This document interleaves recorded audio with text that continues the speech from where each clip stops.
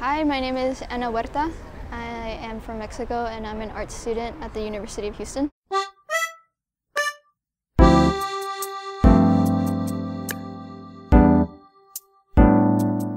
I'm entering my senior year, so I'm pretty close to finishing. I'm getting my bachelor's in general arts.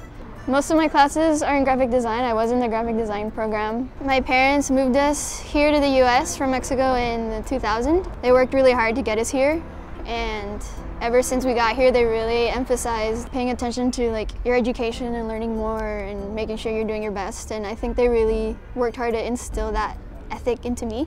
And that's something that I am proud of. I think I developed my love for art um, from my mom who used to be a painter. And she introduced it to us. And ever since then I've been I ran with it since a little kid. Some of my favorite artists include Francis Bacon, James Jean, and I also really like Piet Mondrian. And another really big thing that has inspired me has been street art. So like tags and graffiti and murals, like all of all the sorts. It's something you see a lot in Houston.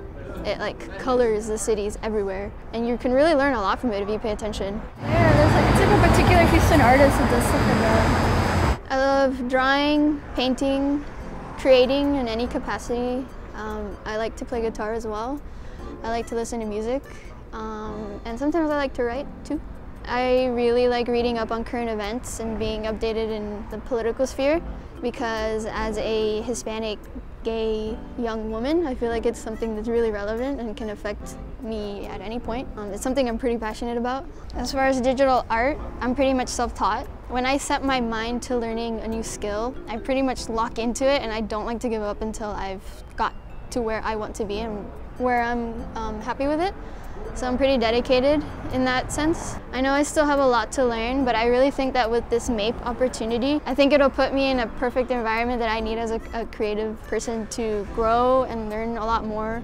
I really like to learn like hands-on and in the moment. I like to work with other people I feel like that's where I can really absorb the most information and grow the most, which is what I'm really interested in doing. I've also had experience as a group leader. I've been put in a few managing positions before and other jobs I've had. Um, I like to do a good job. I think that's very, very important. I'm bilingual. I speak Spanish and English. Always trying to teach myself more about marketing and, and advertising and those sorts of things because I'm very, very keen on those as well. I like to make the best work I possibly can always. I feel like that's very important to throw your whole self into what you do because that matters a lot.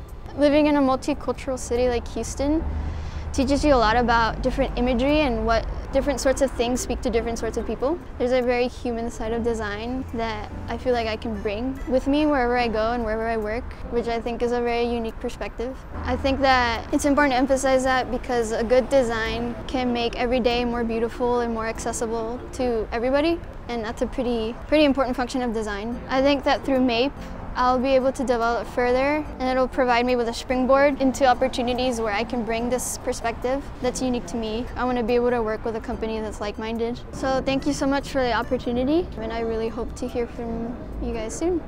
Thanks.